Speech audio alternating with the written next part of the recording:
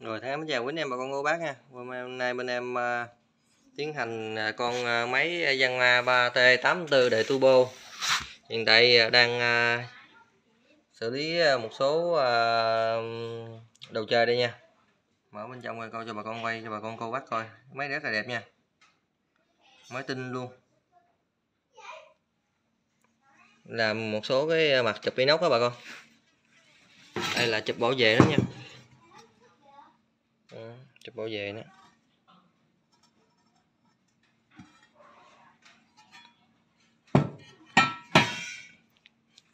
Rồi bình nước ngọt thì à, cũng à, làm gọi luôn.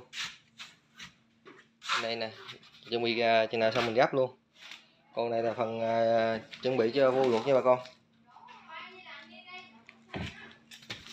Phần này nó chuẩn bị cho vô luộc. Chừng nào xong rồi chuẩn bị gấp một lượt một thể luôn.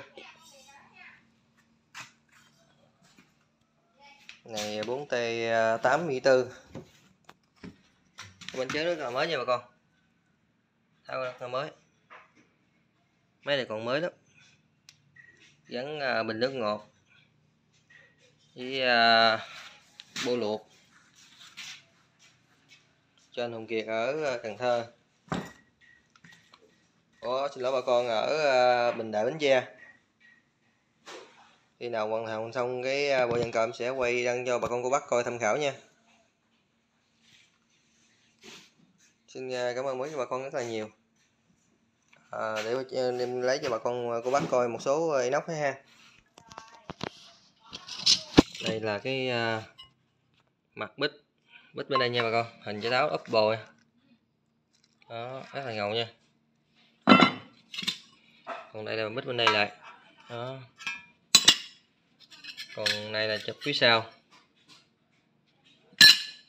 Còn lại là chụp cái uh, báo km lại.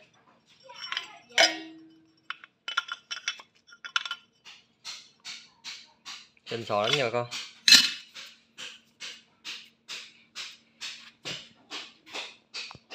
Rồi quay cái clip à, của em tới đây thôi nha bà con. Khi nào à, em bắt tay vào việc thì em sẽ quay cho bà con coi để tham khảo nha rồi, xin cảm ơn bà con.